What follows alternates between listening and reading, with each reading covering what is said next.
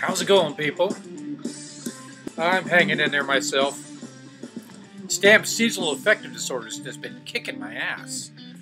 Anyway, I made a new friend, uh, Scapegoat. Sounds so biblical. It's uh, pale ale. It says, and their motto is, "We make water fun" by introducing barley and hops and fermentation. And there was something else very interesting. A little bit of advice. Let's see if you can read that. Always drink upstream from the herd. Now that's some damn good advice. I'll drink to that. Upstream. Uh, let's see. Uh, this is a pale ale, huh? Not too pale, but. This looks like just what the doctor ordered. Alright, where the fuck am I here? That's right. We're starting a new book, and it's the Book of Mormon. Eh, towards the end of the Book of Mormon. Okay. Yeah, chapter one of the Book of Mormon. Ammaron's charge to Mormon respecting the sacred engravings. War and wickedness.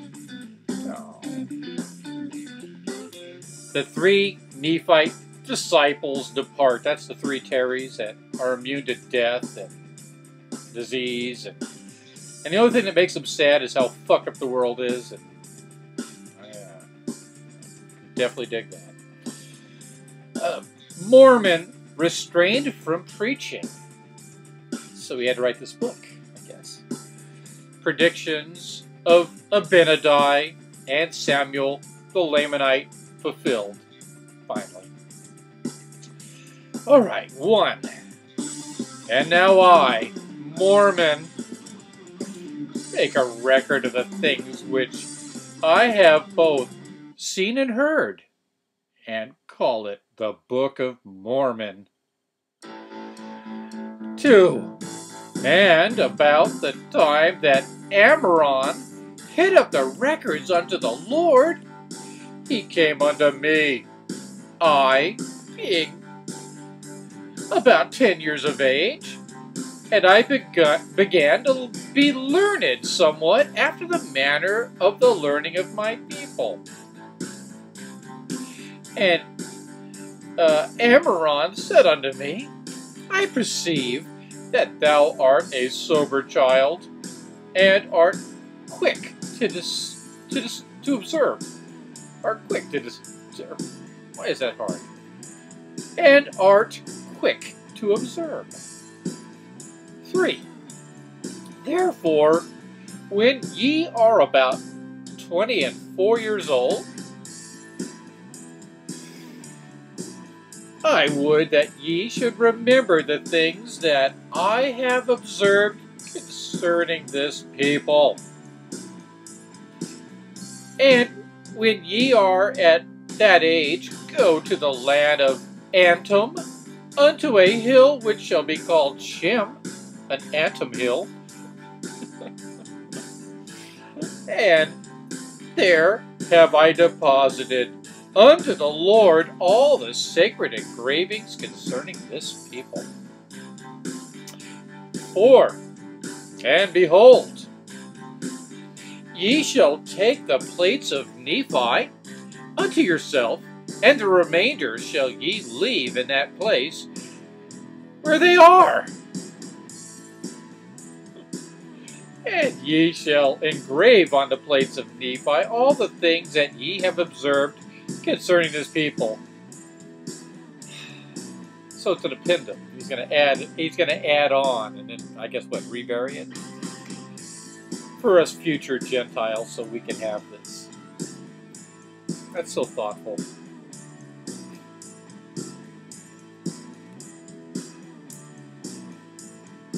I And I, Mormon, being a descendant of Nephi, and my father's name was Mormon, So you're Mormon Jr.? How many juniors is that now? Starting with Joey Jr. I should have kept track, man. It seems to be an outrageous number of juniors there. Just saying. I mean, I'm named after my daddy, so I know. But sure helps to. So we'd have to keep thinking of great names like Nehor and stuff. All right, where the fuck was I? Um, yeah, but his father's name was Mormon, and his name is Mormon. And oh, I remembered the things which Ammaron commanded me. Good. Six. And it came to pass. Thank you. Scapegoat. Let's find out. Oh, that's nice. Take that. All my sins are gone. That scapegoat took them. All right. That I, being 11 years old, was carried by my father into the land southward, even the land of Zarahemla. Seven. The whole face of the land had become covered with buildings, and the people were as numerous almost as if it were the sand of the sea. Just a little time of peace and prosperity, and they just like breed like lemmings. But you know what lemmings do next, right? They run over a cliff and they follow each other in blind faith right over a cliff. Hmm. Eight. And it came to pass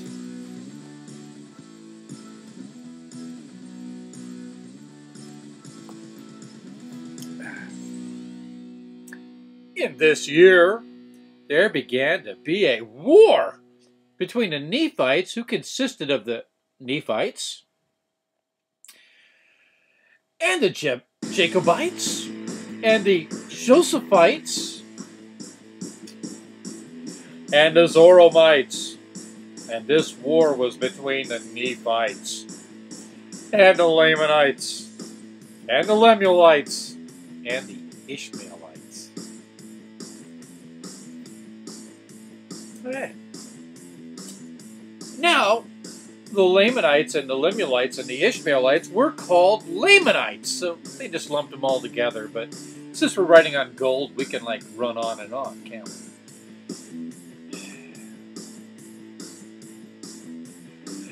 And the two parties were Nephites and Lamanites. Wow. They really spilled that out, didn't they? All right, ten. And it came to pass. And it needed to. Damn it.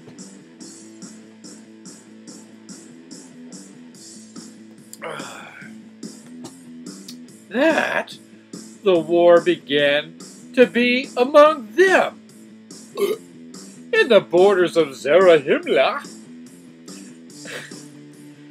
by the waters of Sidon.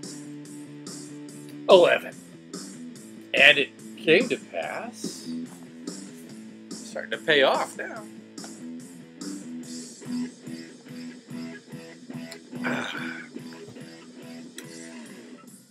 that the Nephites had gathered together even to exceed the number of 30,000. There was more than 30,000 soldiers. Wow. And we're still in verse 11, but guess what? And it came to pass again. Twice. I love another twofer, a doublet.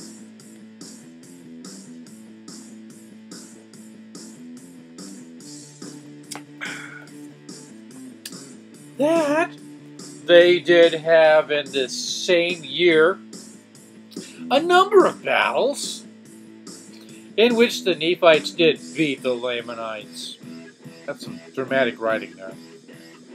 I can almost see it. I did slay many of them. Wow, it's like a it's like a middle movie. It's just such great writing. All right, not really. Uh, oh, 12, but first,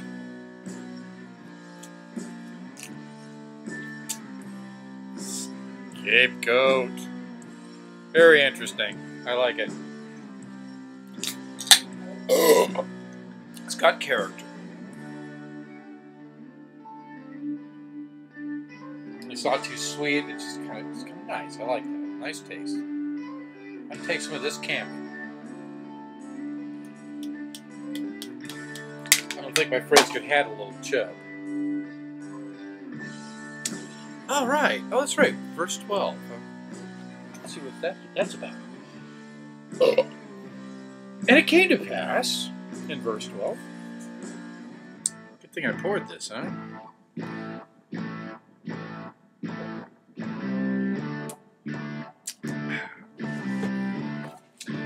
That the Lamanites withdrew their design, and there was peace settled in the land. And peace did remain for the space of about four years. Now, that ain't bad. That there was no bloodshed. I mean, you know, they had like a good 200 chunk, but that's uncanny. Four years is pretty good. All right.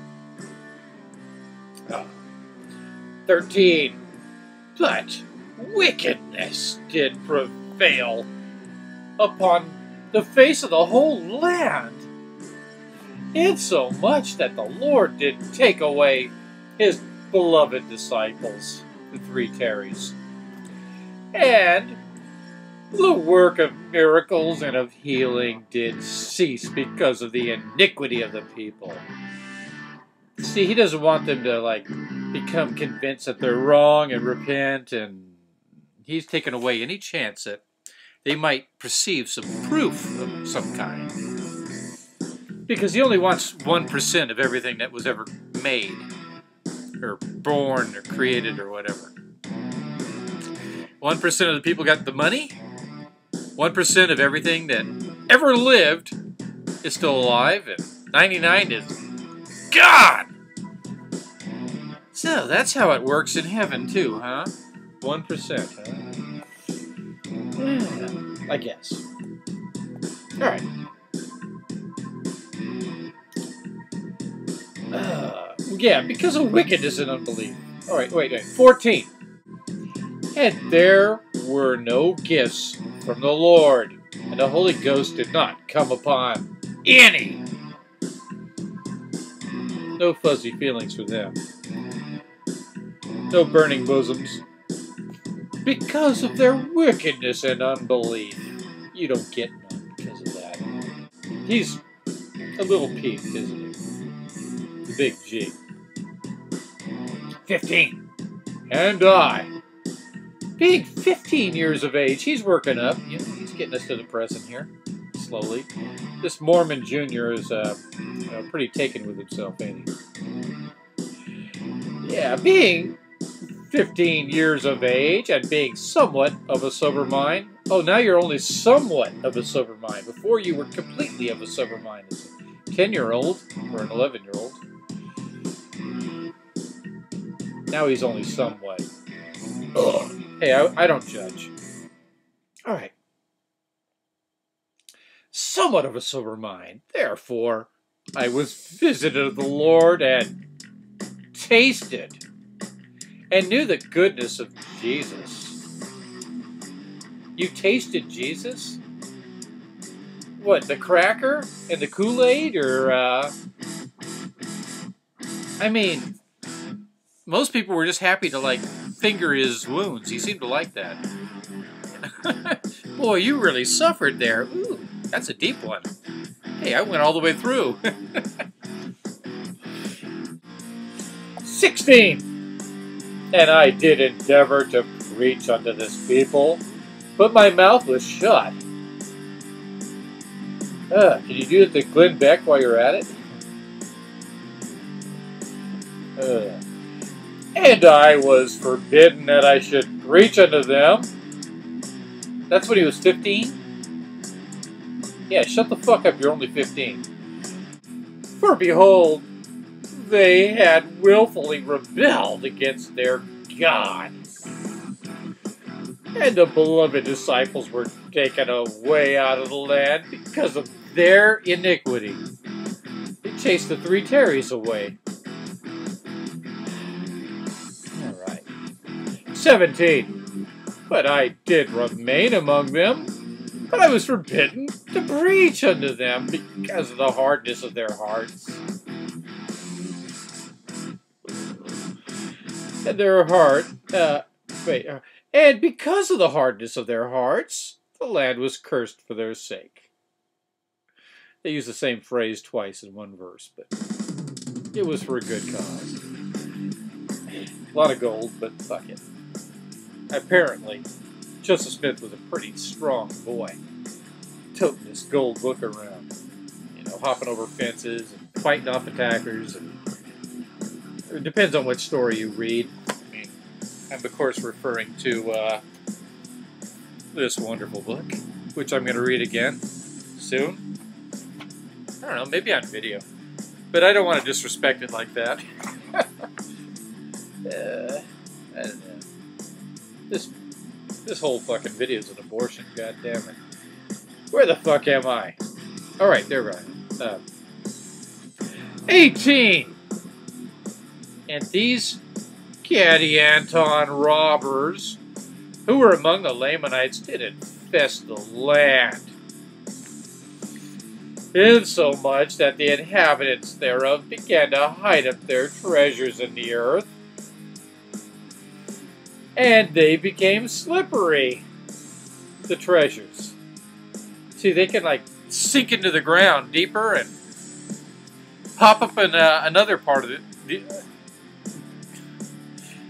It's still under the earth, but it pops up somewhere else, and you need like magic stones to stick in your hat to find them. Makes perfect sense. If you're drunk enough, and I'm not. uh, not by a long shot. Alright. Gadianton robbers, those fucking... Damn! How many times have they been made extinct, only to pop up, man? Alright. Gadianton robbers, yeah. Uh, slippery treasure. Alright. Because the Lord had cursed the land, that they could not hold them, nor retain them again. So that's what all this Joseph Smith Jr. and Senior going out and digging for hidden treasure. Could be pirate treasure, it could be like from these guys. They had lots of gold.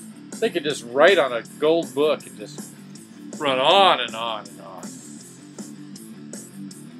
Yeah. All right. 19. And it came to pass. Good.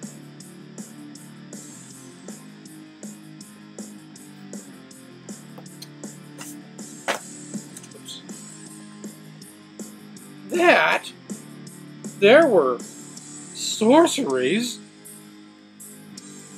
and witchcrafts, because they're different somehow. How is witchcraft and sorcery different?